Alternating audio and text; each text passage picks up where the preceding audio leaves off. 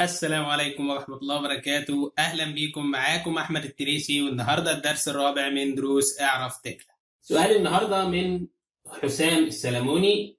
بيقول لو سمحت ممكن تشرح ضغط الاتجاه اللي ببص بيه لكل عنصر عشان يترسم بيه في اللوحة. يعني في العناصر ال precast بنحتاج اللوحات كلها تطلع ال mold face تحت واللي قدامنا على اللوحة ال steel trowel finish قبل ما نبدأ في درس النهاردة محتاجين نفهم معنى الكلام اللي مكتوب إيه. ال mold face أو ال form face هو الجزء اللي تحت من الفورمة بتاعتك. أما ال finish face أو ال top in form هو الجزء الفوقاني من الفورمة بتاعتك.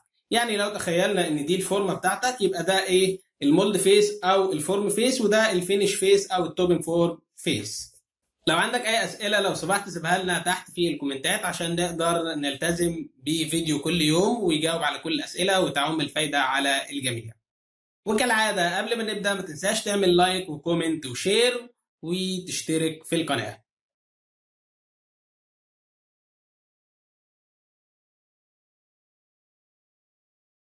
ده الموديل بتاعنا. تعال نرسم حيطة كده. double click على ال panel. نحدد الارتفاع بتاعها وليكن 4 متر والتخانة بتاعتها 300 apply OK نبتدي نرسمها بالشكل ده. نقطة تانية. scroll right click interrupt تعالى نعمل فيها فتحة. هيجي هنا polygon cut نختار ال item بتاعنا اللي هو الحيطة. بعد كده نعلم على ال snap ال nearest نختار نقطة هنا مثلا. بعد كده نطلع لفوق كده. 2 متر مثلا. enter ونمشي كده. واحد متر. enter بعد كده ننزل تحت.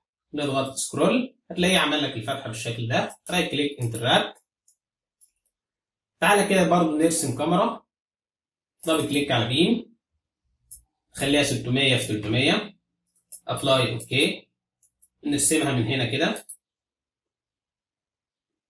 لحد هنا. عمودي. نلف كده شوية. right click interrupt عايزين نقطع الحيطة دي بالكمرة دي. part cut نختار الحيطة وبعدين الكمرة. right click interrupt control 4 بعد كده نختار الكمرة ونمسحها. آدي ال cut بالمنظر ده. إحنا عايزين نبص على الحيطة دي على اللوحة من هنا. تعالى دلوقتي بقى نحدد ال top in form face هنيجي من cast unit نختار set top in form face ونختار ال face ده. يبقى كده ده ال top in form بتاعنا. right click interrupt لو انت عندك اي حاجة مرسومة وعايز تشوف ال top in form face بتاعها هتيجي من cast unit تقول له show top in form وبعد كده تختار العنصر بتاعك هتلاقيه علمه لك باللون الأحمر بالشكل ده. right click interrupt تعال نعمل لها اللوحه عشان نتأكد. أنا أختار هنا select assemblies بعد كده نختار الحيطة.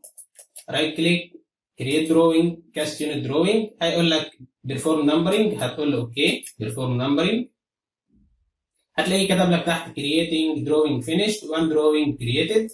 هتضغط control L بعد كده تلاقي اللوحة هنا تضغط عليها double click عشان تفتحها. نزل دي كده. هتلاقيه فتح لك اللوحة بالشكل ده وزي ما انت شايف ادي ال front view باصص من نفس الاتجاه اللي إحنا حددناه. ولو خدت بالك مش موجود ال cut اللي إحنا عملناه. طب عايزين نظهره double click على ال view ده كده.